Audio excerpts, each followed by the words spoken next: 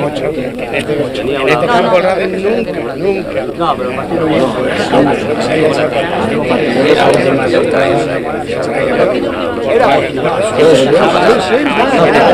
Bueno, era una cosa. Oye, que hable, hable, que hable. Sí, hombre,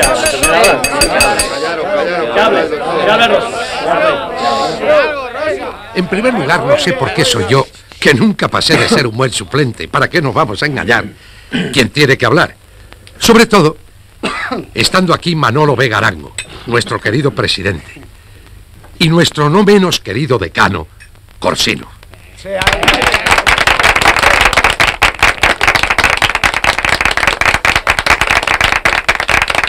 Pero en fin, todos sabemos por qué nos hemos reunido. El motivo es que hoy está aquí el mareo Albajara. Antonio Miguel Albajara. Sí,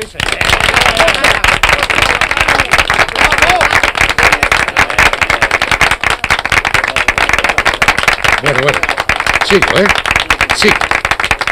Y es importante que esté en mareo Albajara, y pienso que no solo para mí, sino para todos nosotros, es importante, digo, no porque haya vuelto a casa el autor de unos cuantos libros y un premio Nobel de literatura. Por cierto, Antonio, ¿se dice Nobel o Nobel? Antes, desde luego, era Nobel, ¿eh?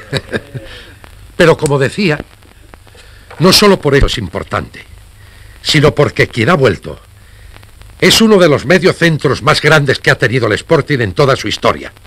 Y por qué no decirlo, el fútbol español. Vosotros, los jóvenes, que formáis el mejor equipo que hemos tenido nunca, en mi opinión, teníais que haber visto cómo Albajara paraba la pelota a media altura, con la izquierda, y sin dejarla caer, la colocaba con la derecha a 25-30 metros justo a los pies del extremo. Antonio era un jugador duro, pero noble, ¿eh? Valiente, que luchaba los 90 minutos, y que tenía una mano en lugar de una pierna. Pero sobre todo, lo que tenía el Bajara era un cambio de ritmo mortal. Algo que rompía al equipo contrario. Antonio para mí, y de verdad que no me ciega la pasión, ha sido uno de nuestros más grandes jugadores. Y su sitio estará siempre entre estos fenómenos del Sporting. Bueno, y basta ya de discurso. Os pido un brindis por Antonio Miguel Albajara, por lo que fue, por lo que es y por lo que será siempre. Por Albajara. Por el Sport. ¡Por el